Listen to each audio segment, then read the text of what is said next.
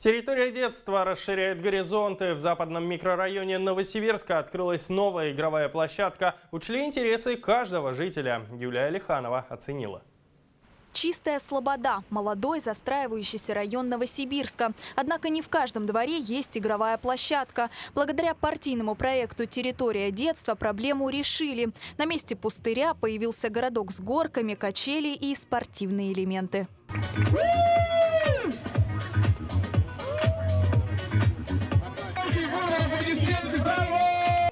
Громкими возгласами ребята бегут на новую игровую площадку. Среди первых двухлетний Степа. Очень полюбилась мальчику качеля гнездо. Мы стабильно раз в день здесь гуляем, потому что, ну, в зависимости от погоды.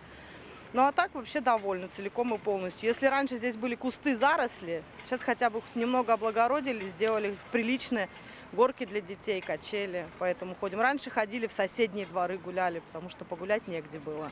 Территорию выбрали не случайно. Рядом детский сад, чуть дальше вскоре появится школа. В рамках партийного проекта на создание игровой площадки выделили больше миллиона рублей. А благодаря государственно-частному партнерству этот капитал удалось увеличить. Очень удачный пример, э, пример такого классического механизма взаимодействия частного капитала и муниципального. Бюджет вот этого всего пространства чуть более 7 миллионов.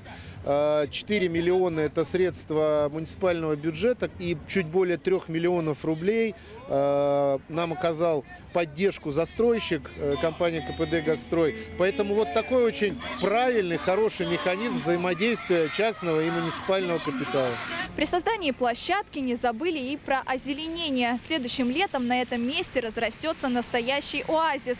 Слева от меня посадили кустарники. Живая изгородь будет защищать эту зону от грязи и пыли. Справа теперь растут ивы, но а вон там дальше виднеются сосны, которые через несколько лет станут настоящей защитой от жаркого летнего солнца.